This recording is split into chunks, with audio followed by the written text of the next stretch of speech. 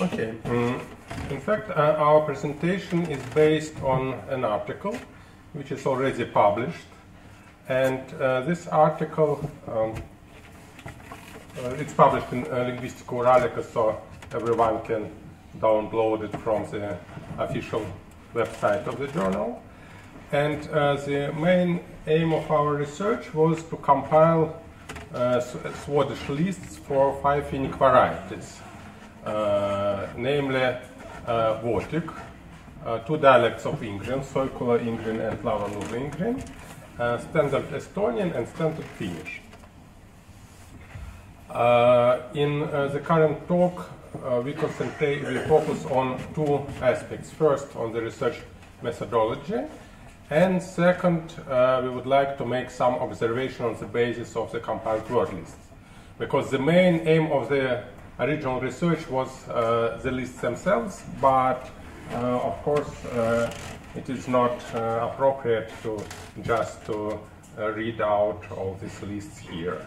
Uh, so we will focus on some additional observations which appeared as a result of our research.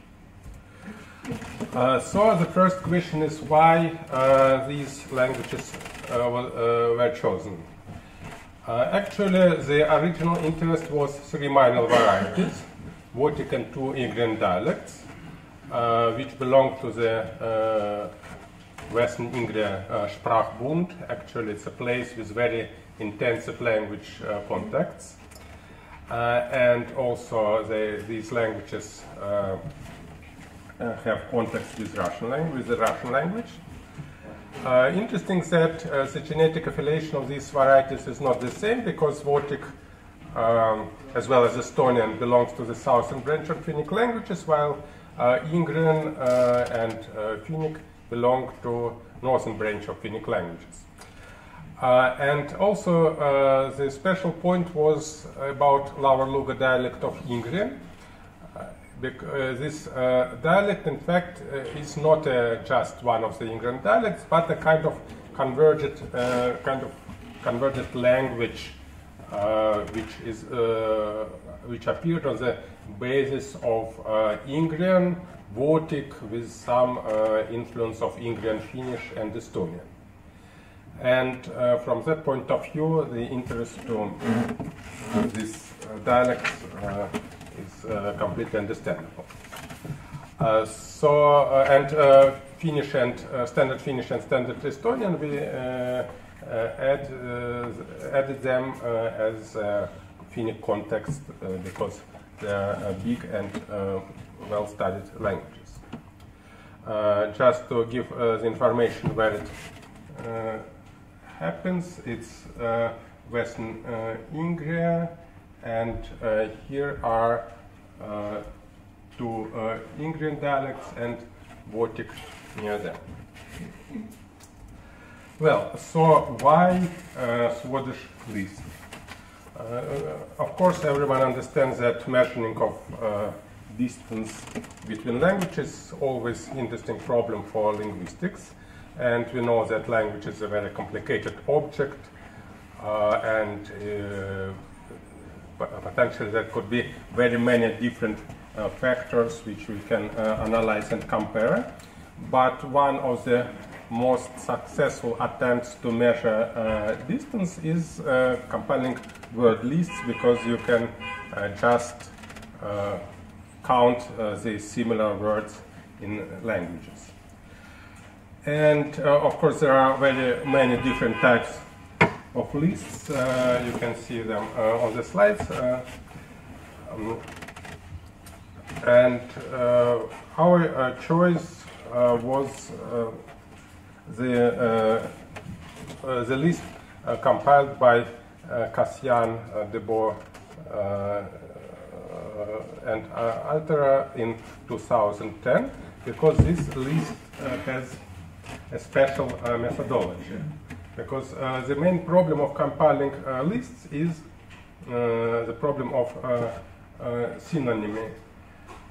if you just take some translation of a word and uh, we'll try to find the words in a dictionary, for example. In this case, you can get very many different synonyms, and uh, the problem is which synonym you can choose. And uh, actually, there are some examples, from my point of view, not successful examples, when people uh, did this, this, way, and the result was very, very strange. Uh, but um, uh, how we can uh, solve this problem of synonymy. Uh, first of all, we can use more than one language uh, in the list of basic meanings because in this case, every language can narrow the meaning of a word. Uh, also, we can uh, give some additional commands which uh, allow us to narrow this meaning. And of course, we can use a context to, for the same um, aim. And actually, this uh, uh, sp semantic specification, which was given by Kasyan et al. Um, in their article, they uh, give all these three possibilities. Uh, here you can see example for one word uh, from uh, that article. You can see uh, here is both Russian and English translation. the context, several simple sentences, uh, also in Russian and in English, and also additional uh, commands which uh, allow, to, allow us to choose the correct word. So we decided to use this methodology, and from our point of view, the result was successful. Uh, so, uh, what was uh, now about the results? So, uh, concerning synonyms, uh, in spite of the fact that we use this uh, system, uh, this methodology, uh, there were several uh, cases where we weren't able to choose one synonym, but actually there were only three or maybe four, but rather three of them. And I think it's a very good result if you uh, we uh, speak about uh, 110 uh, uh, list for every language, so it means that altogether there were there were uh, 550 words, in fact even slightly more. And only such three mm, words were problematic. One was in Soikkola Ingrian the word for liver because actually they are using uh, either uh, some composite uh, based on their own verbs or, uh, uh, or words or uh, they use Russian borrowing. for Finnish, our informants weren't able to distinguish meanings of uh, and Monta in the context, so both words uh, were uh, completely okay in the context. And uh, in Lower Luga Ingrian, also there is a situation when two possible words and distribution depends on a particular native speaker. It's word voice or uh, astaika. Uh, also, the, the uh, fourth situation was rather specific. We don't know exactly how to uh, qualified. It's the variation between uh, Nimi and Imi for name, but uh, it looks like Imi is very strange word, uh, a kind of uh, combination of Nimi and Russian imya. Uh, so in this case, it's rather difficult to qualify it as variant of the word or independent lexeme. So we put a question mark here. Um, so, uh, uh, what uh, concerning these lists? Uh, first of all, uh, it was uh, only it was a very rare situation when in these five varieties we can find three different roots. it happened only with three of the items, with the word uh, uh, in uh, minor languages, it's uh, Russian borrowing. from Lezhat. in Estonian, its own root, and in Finnish, its own. with snake, because in Estonian, in spite of the fact there is in the Ugric root model, there is also borrowing us, which was chosen as a uh, better uh, corresponding to the context. Uh, and for sin also there were different roots. Uh, but uh, and in all these cases, you can see that it's a position that it's Estonian has one root, Finnish has another root, and minor languages has uh, minor varieties has the third root. concerning bipartite positions, uh, there were uh, such situations. First, uh, on the first place, as a language which opposed to all others was Finnish. There were 16 items when Finnish was different. Uh, Estonian was different uh, in 11 cases. Uh, Soikkola-Ingrian in two cases and Votic uh, in one uh, case was uh, different, but for Votic it's interesting that this root was specific only for the chosen variety of Votic. If we have, if we have chosen some other variety, the result will be, would be different. and um, Votic and Estonian opposed to other languages two times, Estonian Finnish uh, to others one time, and uh, uh, here were uh, other combinations, Soikkola, and Finnish, we can say uh, yeah, uh, Soikul and Finnish uh, one time, Votic and Lower Luga Ingrian one time, and Estonian plus one of the variants of Lower Luga uh, one time. So, um, so what are the lexicostatistical distances? You can see here the table. Here the difference in uh, uh, persons, and here a number of uh, items which were uh, different in some uh, uh, numbers. You can see uh, that it's comma 5. It means that only one of these synonyms mentioned above was counted. And uh, what's interesting, so the closest varieties were Votic and Lower Luga Ingrian.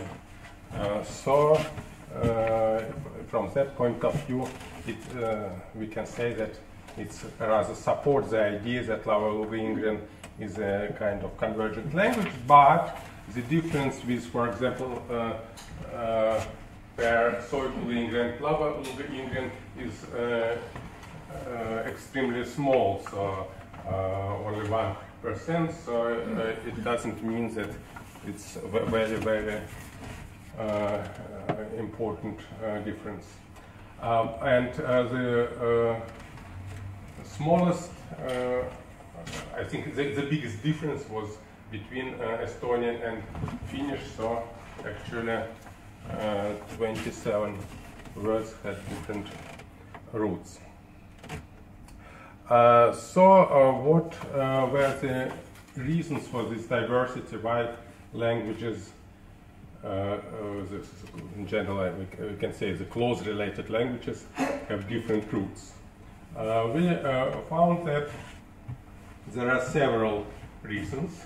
the first reason is that uh, in Proto-Finnic there were several uh, quasi-synonymic words. I, this is mountain, not name. Oh, it's uh, sorry. Of course, it's just uh, mistaken here. Of course. Uh, uh, it's mountain uh, here. Uh, but uh, uh, I, I, will give here only a couple of examples. In fact, there are more such words. you'll see the number of them later. so you see quasi-synonymic words because sometimes there were synonyms and in one language one uh, of uh, the synonyms became dominant in another language, another became dominant.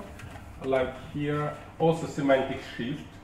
Uh, when, uh, for example, this mountain, uh, the word, uh, in the Ugric word, Maggie, match, and so on, originally it meant rather hill than mountain, but in Finnish uh, uh, is uh, the main word for a mountain.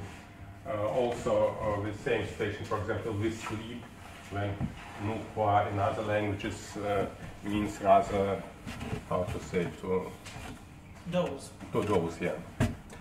Uh, the third reason was uh, when uh, the language used some more or less um, ancient root, but uh, uh, uh, some derivation, some deri- uh, derivation to derive new word.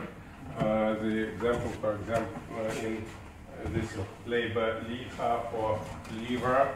Labor, in fact, it's uh, old borrowing for bread, and liha is meat, and it replaced the original uh, uh, max, uh, which uh, also exists in Circle but has completely different, uh, uh, no- not complete, but different meaning. Actually, it's liver, but only liver of fish, not liver in general. Uh, and the fourth uh, reason was loan words, uh, and uh, it was, for example, in Estonian, there are rather many loan words, but also there can be loan words like here also in minor languages.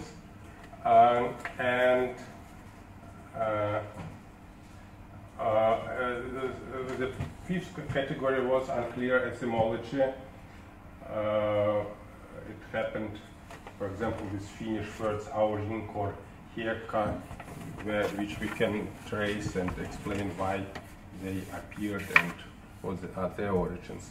So uh, in this table you can see the number uh, for each category in every uh, variety, how many um, words with uh, specific words uh, appeared there um, of every category. Uh, again, a number given in uh, parentheses uh, is the number of, of one of the synonyms in the list. So, um, okay, so what are conclusions? Uh, first, that uh, in general the difference uh, between minor languages, namely Votic and two Ingrian dialects, is extremely small. So, uh, 94% or more of the core lexicon uh, coincides. Uh, in spite of the fact that Ingrian and Votic belong to different uh, branches of Finnic languages. The major languages, Estonian and Finnish, demonstrate uh, greater difference both from minor languages and also from each other. Uh, actually, we already um, discussed these various reasons why the lexical diver- diversity between languages increases. And uh, some global conclusion concerning the methodology of lexical lexicostatistics is that uh, for closely related languages, lexicostatistic, uh, statistics does not have a strong correlation with their uh, genetic distance.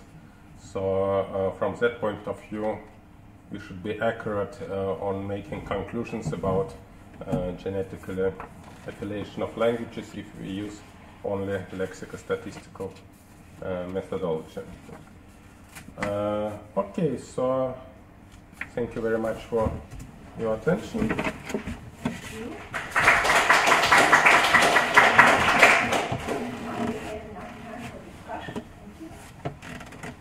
Any questions? Um, I did a similar exercise with one Alaskan language couple of years ago, and uh, I found that uh, Swadesh list is a very crude instrument. Almost 50% of the items were difficult to listen for one reason or another. And, uh, and did, did you have similar experience, or in your case it was uh, easy and straightforward? Uh, sorry, I didn't understand uh, question quite right. Uh, what was the problem with uh, this? Well, there were 12 different problems, such as, for example, the absence of a lexical item, the presence of only hyponyms, the absence of too many different lexemes that could potentially be filled in, and so forth. and there is no way to decide unless you have a very uh, extensive appendix to the Swadesh list that instructs you how to. Uh, actually, of course, uh, this uh, uh, problem of synonyms is understandable, but uh, it's the reason why we use this methodology, which allow uh, for us uh, to cut all this. It's not synonymy. It may, it may, may be something completely different. For example, can you give there is a subclassification uh, uh, in the language I was working on. Uh, there, there is no single uh, verb for the meaning give, because there will be 10 or 15 different words depending on what you are giving. And there is no way to decide which one to pick. Uh, in our case, we didn't have such problems, uh, such crucial problems. Uh, So maybe Swadesh list is good for Eurasian languages.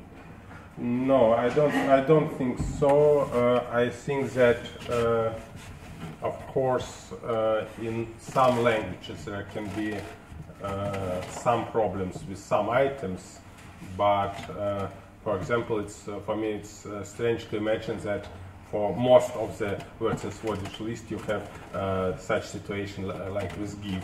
Uh, I don't think that they have, for example, 10 different words for sun or uh, 10 different words for. Uh, No. Not never had in verbs. yeah, of, of course there can be uh, examples uh, uh, that uh, also that some concepts are not act, um, actual in the language, and, but in our case, in, in general, it uh, it worked. So uh, it worked, and it was quite okay. I wanted to ask about one word, the word for many, which was Paljon or Monta. Mhm. So in one of the languages you got both of these, but uh, I wonder if they are really synonyms because uh, uh, you have Paljon for most of the languages, but this is for normally used for uncountables like water, and then Monta is used for countables like. Uh, many individuals. So in this one language, you have both of these. I wonder, do they really use them synonyms as synonyms? Um. They say montamaito and a lot of these points. Uh, it uh, doesn't mean that uh,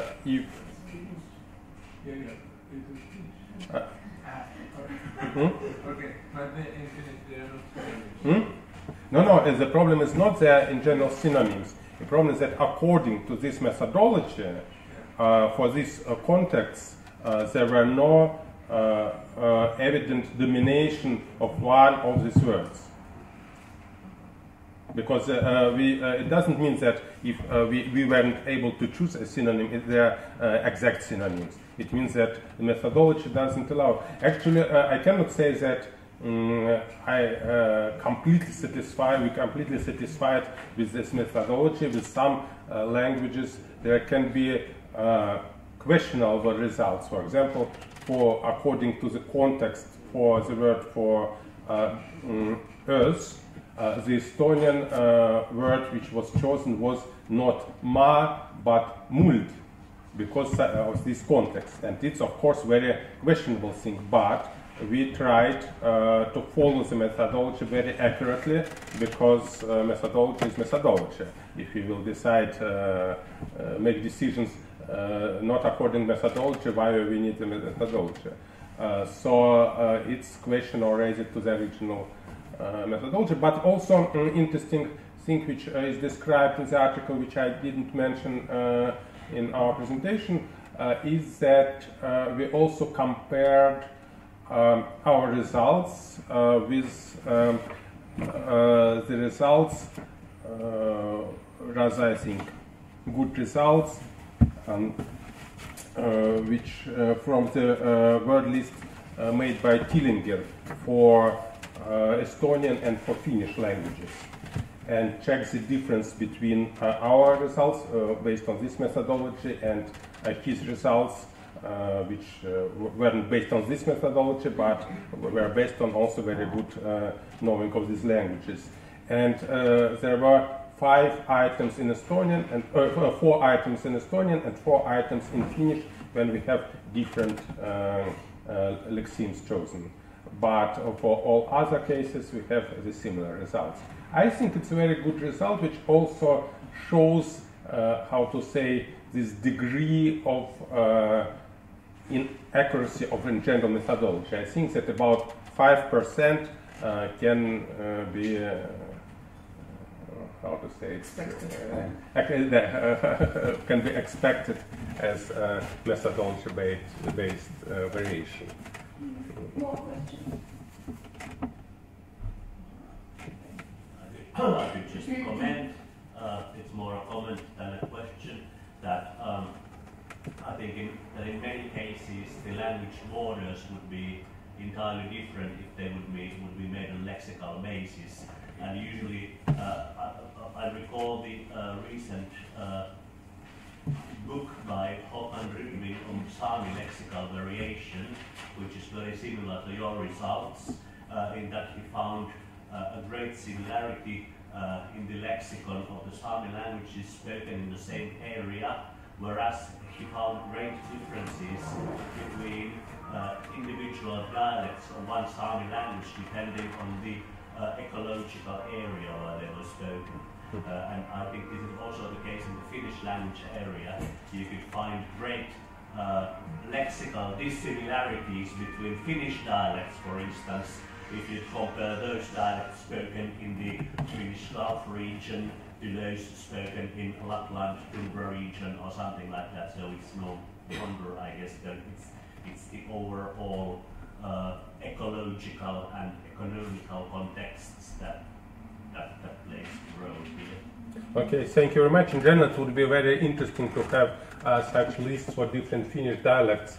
Uh, uh, we, uh, now, I think only what Evgenia Kuzyonev is here he compiled this uh, data for the list for Ingrian Finnish, uh, and we didn't uh, process it yet, but uh, we hope that uh, we process it yet, but we hope to work with it. But for uh, mainland Finnish dialects, it would be very good to uh, have such lists. And if someone uh, of your students would like to do it, uh, it will be very welcome.